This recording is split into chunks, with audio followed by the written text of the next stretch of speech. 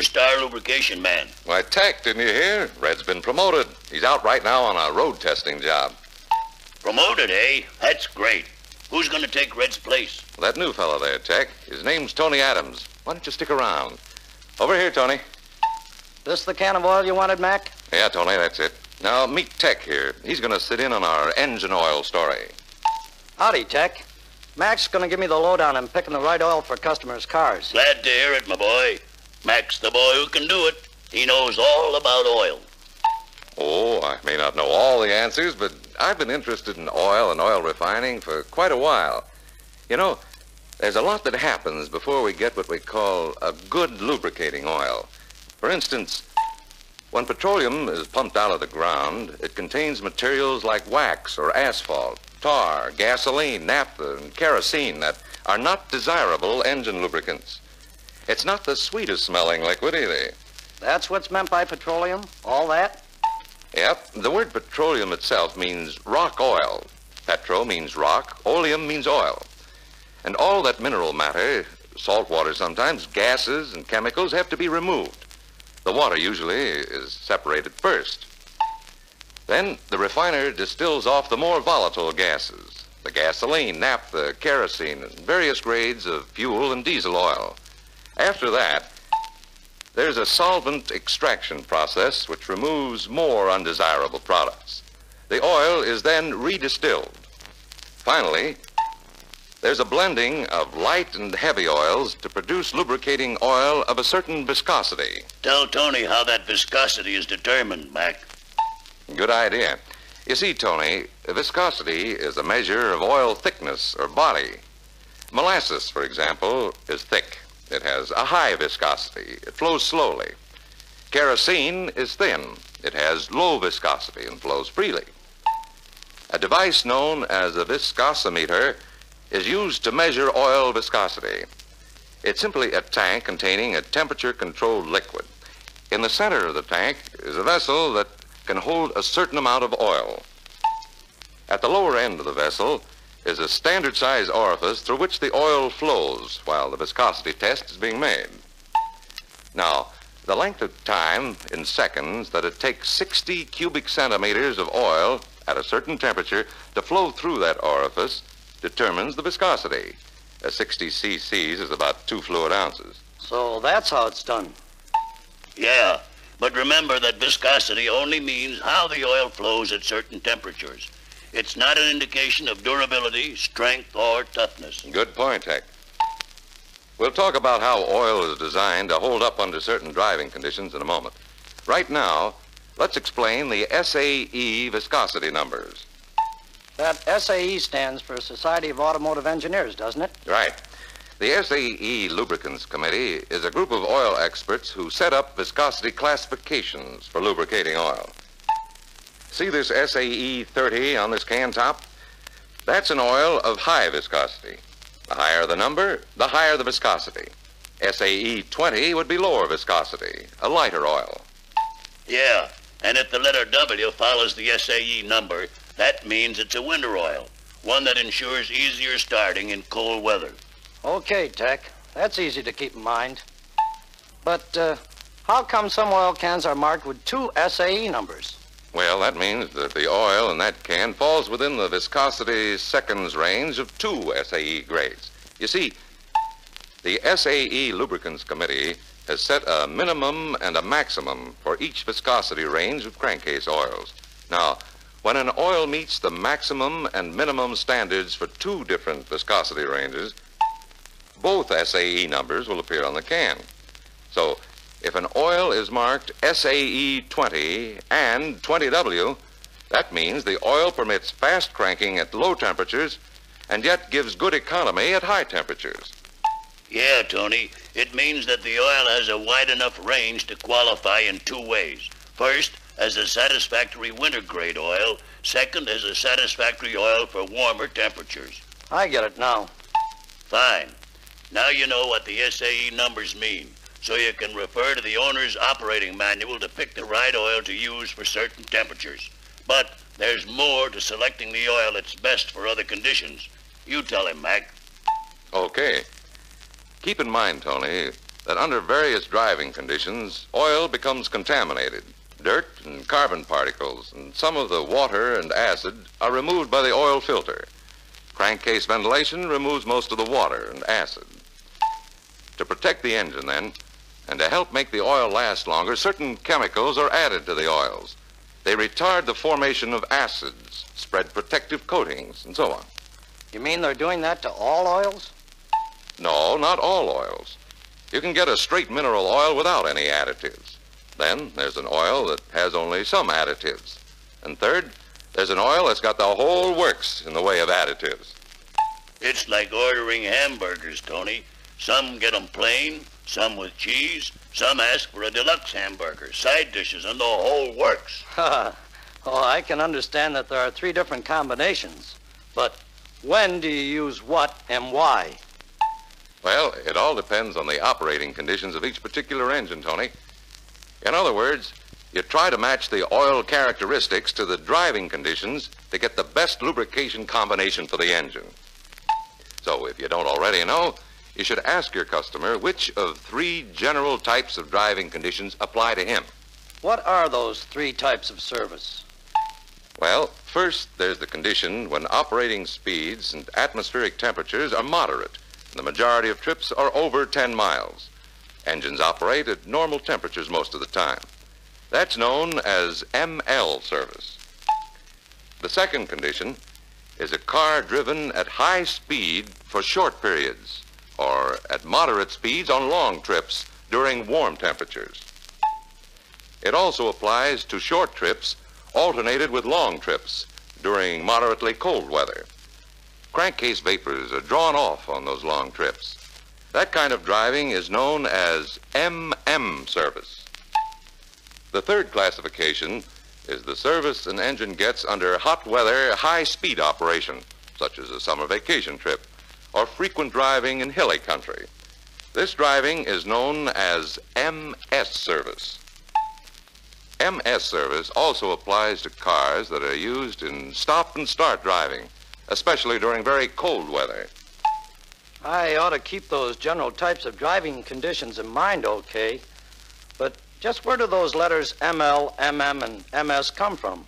Well, those letters were just picked to indicate the type of service. Actually, the letters make the service easy to remember. The ML could stand for mostly light service, the MM might stand for mostly medium service, and the MS could mean mostly severe service. That's a good memory tip, Tech. Those ML, MM, MS letters, Tony, are American Petroleum Institute service classifications. You may have seen the abbreviation API on oil can labels. Yeah, yeah, I think I have. Well, in addition to the SAE number, the API service classifications will also be marked on the can to indicate the service that the oil is designed to handle. And if you see two service classifications, the letters MM and MS, that means the oil can be used in engines operating under the MM or MS conditions we talked about. You get it, Tony? You pick an oil first for temperature conditions using the SAE number and based on the recommendations in the owner's manual. Then you match driving conditions with the service letter designation on the can. That's how to pick the oil that'll give the owner the best service. Now, if somebody will turn the record over, we'll pick up some more good pointers on proper engine oil service. So far, Tony, we've told you when to use what oil. But to tell you why that's necessary, we'll have to go into the composition of oils. Okay by me, Mac. I'm still a little in the dark. Well, remember that an oil marked for service ML is usually a straight mineral oil with no additives. You know, Tony, during its early life, an engine can consume some oil until a certain amount of wearing in takes place. Yeah, oil consumption can be a little high until the piston rings seat themselves. Right. Now, that's very often due to the practice of using oil with additives. It does such a good job of reducing wear that occasionally the rings do not seat. So, if you get a case where oil consumption's high for a low mileage engine, drain the crankcase and fill it with oil for service ML. Then, after the rings have seated, You can recommend an oil based on the driving conditions under which the engine is operated. Oh, I see. In certain cases, for peak oil economy on a low mileage engine, recommend oil designed for service ML. Right. That's on those special cases where oil consumption is noticed before the first oil change is reached. Tell Tony what oil for service MM has got, Mac. Sure. Oil marked for service MM has either natural or added oxidation and corrosion inhibitors. Those additives tend to control and reduce oxidation of the oil at higher temperatures. Stopping oxidation reduces varnish deposits. Additives also reduce corrosion of vital parts. How do those additives cut down that corrosion? Why, the inhibitors form a protective coating over the metal parts, preventing corrosion. Also, by stopping oxidation, the inhibitors retard the formation of acids. Now, oil designed for service MS contains oxidation and corrosion inhibitors plus the addition of detergents. Detergents are materials which keep the engine interior clean. What do you mean, detergents? Well, detergents are chemicals which keep foreign particles in suspension so they don't settle and form deposits. That's how they keep the engine clean. Carrying those solid particles in suspension makes the oil look dirty. But unless it feels gritty, it still is suitable for service and shouldn't be changed. Those particles are soot and lead deposits that normally blow by the rings. Resins and other varnish-like materials from hot oil and partially burned gasoline are found in the crankcase. Detergents prevent the deposit of these solid particles. That's why an owner who does a lot of hard driving should use an oil for service MS. Most MS oils have additives that keep them from thinning out at high temperatures. That's right, Tech. And opinions differ on what hard driving really is. You've all heard that old line about used cars. This car was owned by a school teacher. She never drove it out of town and treated it like a baby. Huh. yeah, Mac. I've sure heard that one pulled a lot of times. Well, brace yourself, my boy. What Mac just described is an example of hard driving. You mean that's hard driving? Yes, Tony. Tech's right. Stop and start driving, short trips, low engine temperatures. That's the hardest kind of driving on an engine. For one thing, the crankcase ventilation system can't draw off combustion gases when a car doesn't go fast enough or far enough to make the system operate. The oil collects acid and water and develops sludge. This is particularly true under cold weather conditions. That's a type of MS service then, huh? You bet your life that's an MS service, Tony. An engine under that type of operation needs all the additives and detergents it can get. Yes. And another kind of hard driving is when an engine is driven at sustained high speeds or under heavy loads. The engine oil becomes very hot. That excessive heat causes oxygen to combine with the oil and starts oxidation. Somewhere in between the moderate service and hard driving we've mentioned is the operation you'd peg as service MM. That's when the engine temperature rarely goes higher than normal. In a case like that, there's a moderate oxidation of the oil and enough acid to corrode engine parts. So, oil for service MM is designed to inhibit that oxidation and corrosion. I see. The API letters, then, are an improvement on SAE numbers. Oh, no, Tony. The API service classifications in no way replace the SAE grade numbers. It's still necessary to use the right viscosity oil according to the temperature expected. Follow the recommendations in the owner's operating manual. Now, here's a temperature table for your guidance. For temperatures not lower than 32 degrees Fahrenheit, use SAE 30 oil. For temperatures as low as 10 degrees Fahrenheit, use SAE 20W oil. When you expect temperature to go down as low as 10 degrees below zero, be sure to use SAE 10W. For temperatures lower than 10 below, use SAE 5W. Okay, Mac, will do. And don't forget, Tony, you gotta base those recommendations on the lowest expected temperatures before the next oil change period. I see. I got a long range my weather forecasting. Right. By the way, we used to think that the lightest oil provided the best lubrication. But recently, heavier oils have been found to be more satisfactory, as long as they don't cause hard starting. Why the change, Mac? Well, a heavier oil thins out much less at high temperatures, so it provides a better oil cushion, which reduces bearing wear. That's important since higher speeds increase the load on bearings. So SAE 30 is recommended for use after the break-in period and for temperatures above 32 degrees. One oil you don't have to worry about, Tony, is the oil the factory installs in new engines. You tell 'em, Mac. Okay. That factory installed oil in engines not equipped with torque converters, Tony, is a highly refined oil having a viscosity of SAE 10W. It's designed for service ML. So keep that factory oil in new engines for the first 500 or 1,000 miles, depending on the make of car, before you change it.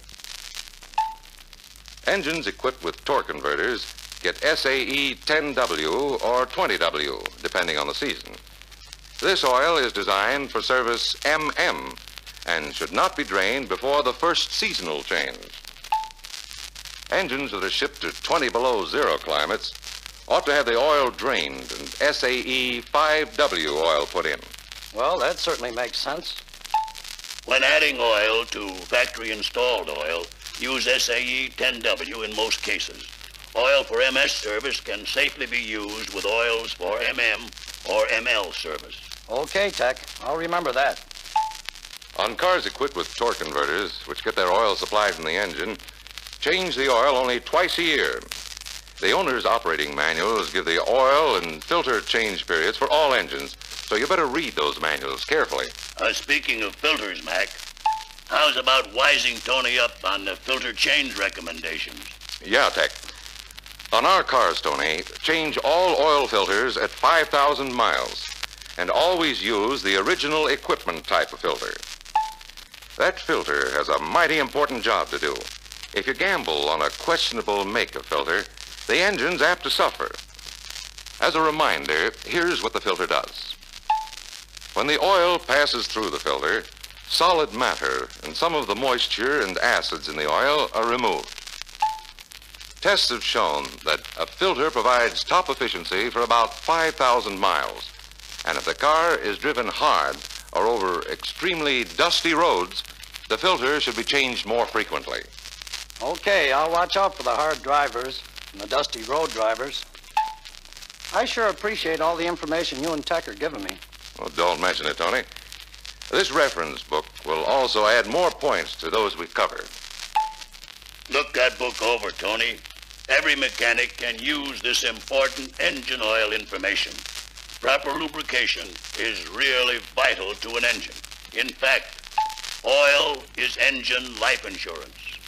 And it's our job to recommend the right oil for each of our customers.